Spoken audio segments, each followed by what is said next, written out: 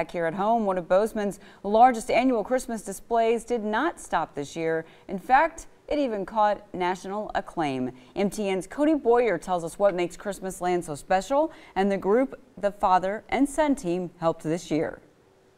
For at least two years now, Brody LaSword's Christmas Land has raised money for good causes. First with the Bozeman Fire Department, and this year with the Bozeman Police Department.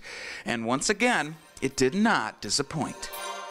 Lines. Christmas Eve, there was limos coming by, there was buses. If you were looking at Bozeman from the night sky, Brody LaSword's Christmas Land once again lit up Shadow Glen Drive. It was awesome. We had over 26,000 people come through. Uh, we had a great time.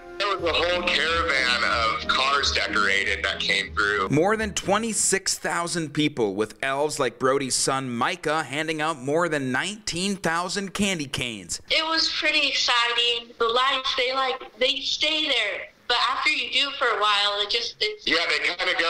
Last year's $40,000 display grew, featuring four areas with music. Even Brody lost count of the amounts of decorations. But behind Rudolph and the lights is an ongoing mission. We had an officer, Christy, from the Bozeman PD, who handed out over 400 gift bags to the kids on uh, Christmas Eve. While it's all free, a small container next to the hot cocoa station was taking donations for the second year in a row. Last year, the duo raised more than $3,000 for the Bozeman Fire Department.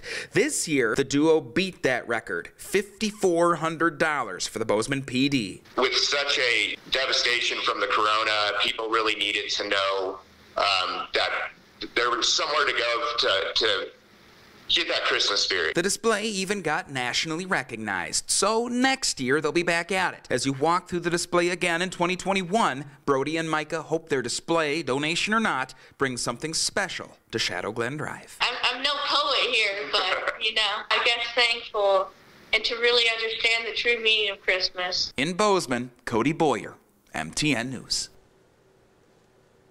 Well, way to go there. And Brody says masks were worn throughout the display area to keep everyone safe.